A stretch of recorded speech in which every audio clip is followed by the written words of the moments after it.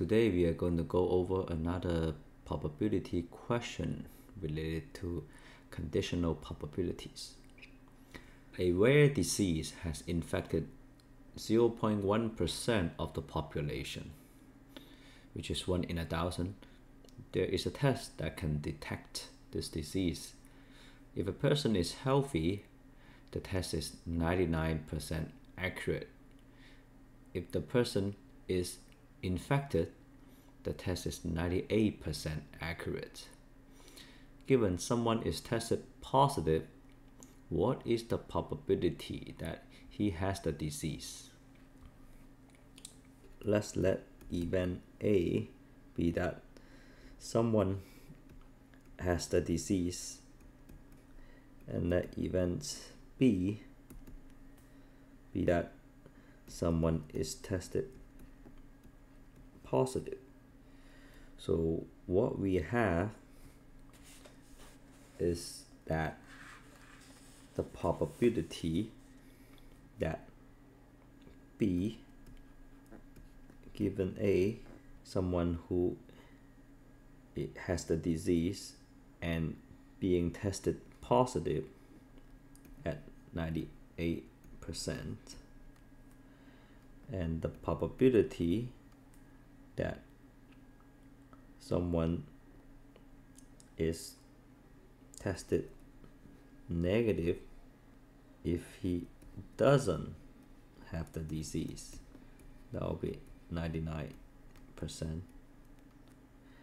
And probability that someone has the disease is 0.1 percent. The question is asking what is the probability that someone has the disease given that someone is tested positive. So probability of A given B is equal to probability A and B divided by the probability of B.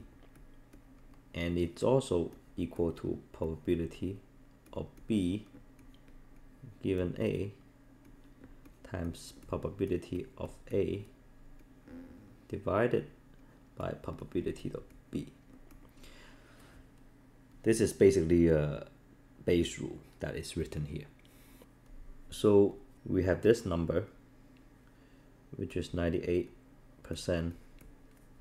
We have this number, 0.1%.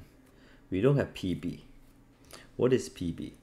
PB is the probability that someone is tested positive.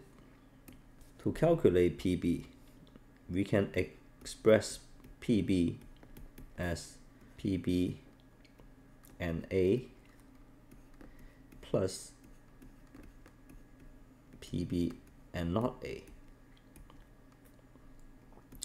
And then we can write this as a conditional probability of B given A times P of A plus P B given not A, A bar times P of A bar.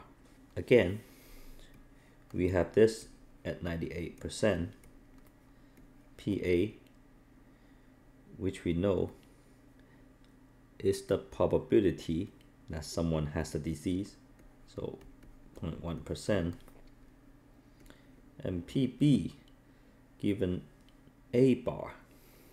Well,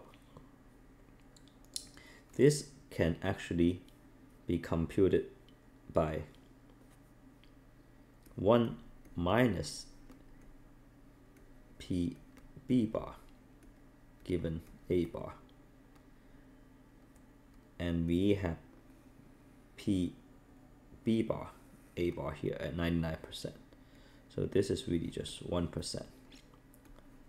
And PA bar, that's basically just 1 minus PA. So that's 99.9%. So, so 1 minus this. As a result, this is equal to 0 0.01097 and we can plug it into the denominator here. And as a result you are going to get 8.93 percent. As an alternative explanation I have this 2 by 2 table here where we have the probability of all the four possible scenario A and B, A and not B, not A and B, and not A and not B. The question that we are really trying to answer is basically when someone is tested positive, that means they will belong to this first column for event B. And what is the probability that they are really infected, which represent this top cell? So basically, we have this number divided by this entire column. So that is what we are trying to answer. So hopefully this gets a this provides a better view for, for you to really see the probability in this table. So this is interesting because even though you think the test is pretty accurate at 99 and 98%, but when someone is tested positive, you are actually not quite sure that they really get the disease. You only believe it at a 8.93%. Thank you.